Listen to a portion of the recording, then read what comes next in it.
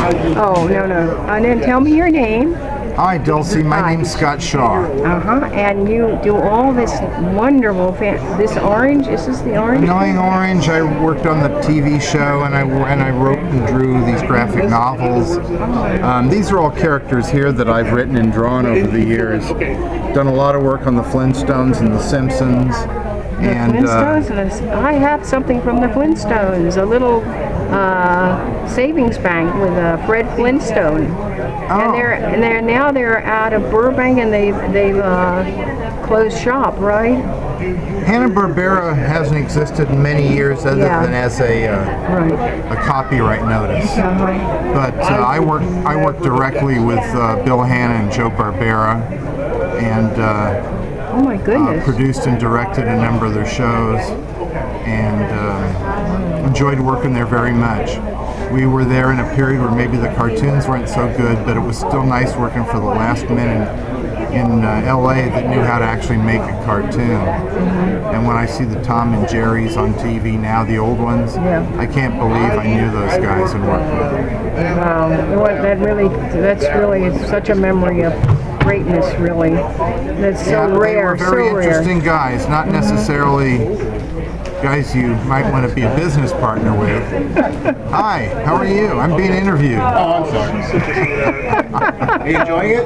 Yeah, but Yeah. She, she's messing up my table with all of her equipment.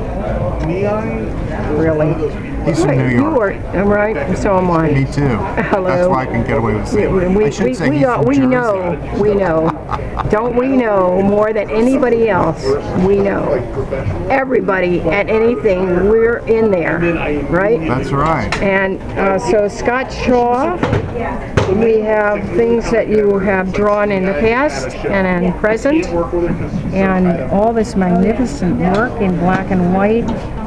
Yeah, this is these are the originals for comic Oh, book pages. goodness. So I draw them this size Mm-hmm. and in, in, in black ink, and then and now it's all done, you know, copied digitally. But I still do all my comic work, you know, manually. Oh, you do And then they had this stuff colored and lettered, and uh, Yeah, colored and lettered, huh? By other artists? well, yeah, people specialize in that No, because it's it's more or less a uh, assembly line process. Uh-huh. I just insist on doing all the writing and drawing myself. Oh my God, you have a great imagination for all this. I do have a great ima- imagination. Right now, I'm imagining this is the greatest comic convention I've ever been to. You're too funny. Oh, Well, that's what I'm paid today. Oh, look at this. I see Fred Flintstone. I see this Bart Papa Simpson. Smurf. Oh, there's a this is Smurf. one of my characters, Captain Carrot. They just did a big re- book reprinting a lot of my stuff Oh, over Captain there. Carrot. Sonic the Hedgehog, Yogi Bear, Muppet Babies. I uh, produced John Candy and Martin Short's cartoon shows and Oh worked with most of the Second City people. Second City? So you're a comic. No, no, I'm not a comic, but well, I, I, I have a, a, a program I do on stage, but I could never live the life of a stand-up comedian. I know, I'm- it's pretty tough. I'd rather be a sit-down comedian. Said like a New Yorker. the truth is here. He's a very truthful artist. And look at this annoying orange. How did you come up with this name? I didn't create that. It existed No. as a, uh, Oh yeah. a series of little uh, digital cartoons that were on YouTube, and they got popular enough that Cartoon Network bought a show of them, and they realized they needed some actual cartoonists putting the stuff together. So I worked on that show for a couple of seasons, and then they asked me to do the graphic novels. What years? Let me see. I think 2012 and 2013 It's very recent. It's Yeah, very it's very recent. Yeah. And uh, uh, where did you get this uh, unusually great Hawaiian-looking shirt? Well, yeah, it's Hawaiian, but actually, it's all, it's all. I realize it's all artwork derived from stills of white women dressed as Mexicans. Um, there's no. I mean, look at the face. That's not a Latina. That's like Dorothy Where? Where? Lamour or Which, which one here?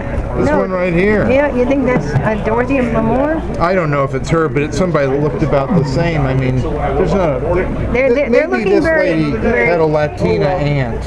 But Let's other than Hannah, that, yeah, I- yeah, there's something, maybe a cousin. It's scary, but, but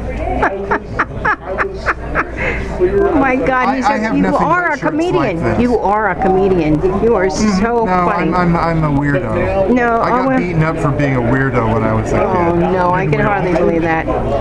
You're agreeing with that? Oh, yeah. How dare you? Back, back in the 1950s, you got beaten up for knowing anything. Yes, That's right. Especially how to correctly pronounce dinosaur names. exactly. Or to draw a picture. I act, my, my parents actually got called into school and were told that their son had an attitude because I corrected the teacher on the pronunciation of a dinosaur name. and I and I wasn't being a wise ass at all, but I was just so obsessed with dinosaurs, mm-hmm. which weren't cool at the time, other than in monster movies. Exactly. But uh, So I was. it was it, it, it I'm very delighted to see geeks taking over. And by the time that falls down, I'll be dead, so it won't matter. Oh my, this son going from the ridiculous to the dreadful If, if I live terribly old, I could be the guy that you interview that says, I remember when geeks ruled the world, man.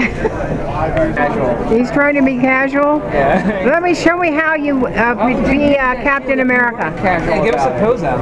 Show me how you do that with a shield. I don't know how to do it. That's okay.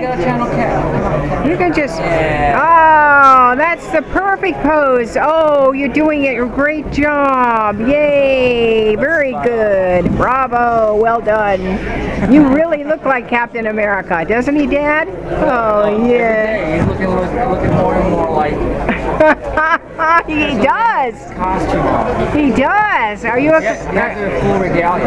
are you an artist too, Dad? Huh? Are you an artist? Uh, yeah. Yeah. What do you mean you say yeah? I'm a little bit of an artist. Yeah, a little bit. Just a little bit. What do you mean? What kind of art do you do, Dad? Uh, commercial. Oh yeah, what kind? What do you do for? Uh, actually animation for uh, for uh, Really? television uh, materials like Transformers and uh, What is your name? Byron. Byron. And uh, where do people reach you? Um, online, I guess. Yeah. I have like some online content. You So do? if they just want to look up, uh, yeah, Byron, uh, Penaranda, I think they'll be able to find me. What is it? How do you spell it? It's P E N A R A N D A. Hey, we have Steve Gordon here today. He's going to tell us all about his wonderful art, where he studied, and you know, Yeah, okay, all that. sure. So, Hi, uh, my name's Steven E. Gordon, and I've uh, been in the animation business for uh, 35 plus years. And I didn't go to school for it, I kind of learned on the job. Started with Ralph Bakshi back in 77, and I've been in the business ever since. and slowly crossing over into doing illustration and comic art and whatnot. But you know, I'm best known for uh, character design of X-Men Evolution and Swan Princess. Hmm. and some of this is in the background, Steve. we Your magnificent poster here, and he's going to autograph this book for this young man. That's a real autograph, and I think I've got to buy the book. He's going to do the drawing. It's- I can't believe I'm here with Steve Gordon. I can't believe it. It's wonderful.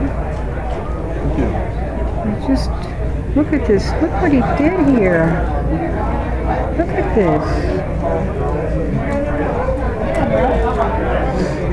Isn't that great? It's got such feeling in all of it. There's so much emotion and feeling. There's so much feeling. Oh my goodness, Steve. Goodness, you did all this and from uh, just right, learning in a group of artists and well, On the job, learn as I went. yeah, you really have to learn, you know, from people around you a great deal in this um, music, art, all kinds of art. You have to learn from others. That's for Well, sure. Generally, it, it helps to Yeah. learn from people better than you. Right, when you see them doing it, it's so, so much better, right? So this is your latest project is what? Uh, currently, I'm doing an online comic for Edgar Rice Burroughs Inc. and I'm working on several uh, miscellaneous freelance jobs as a storyboard artist and whatnot. And what, what uh, how, how did you get into this animation thing you mentioned? I just got lucky. they were uh, looking for artists way back when to work on Lord of the Rings back in '77, and Are you talking about the producers, the they, well, the studio the studio? that was working. What studio? Which one? Bakshi Productions. Ralph Backstreet? Bakshi. The And, uh, division of anything like Warner? No. Well, no, not at that time. No. No, it was just a, a small studio that was producing Lord of the Rings, and I got hired, and I've been in the business ever since. And that was down in Hollywood? Yeah. Okay, wow. So you must have been shocked, really, kind of, Well, yeah. when all that happened. know, I was young. I didn't know any better. You- I was happy, and you know, I got paid well, and I was thrilled. So, How old were you, uh, 18? 17. 17 years old. Look at that. Oh my goodness, you're just marvelous. Well, thank you very much for the interview. I, we're going to check out your website and look Okay. for more of your wonderful art ahead. Thank you very much. Oh, we're ending our day here with um, probably the next event that Dulcy Productions may very well attend.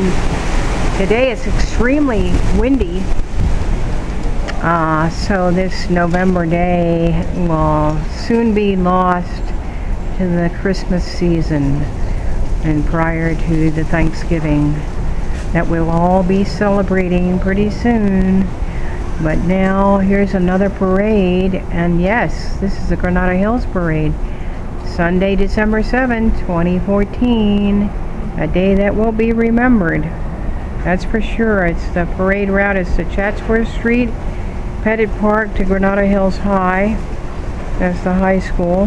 And um, and by the way, the Granada Hills High School was given a gift from none other than Kirk Douglas uh, for their playing fields. Yes, um, all that was revamped by his generous contributions to fencing and making that field a playground for different sports. Yes, they're at Granada Hills High School, which I believe is a charter school, and uh, some very nice students over there. So welcome everyone for the next event for Christmas.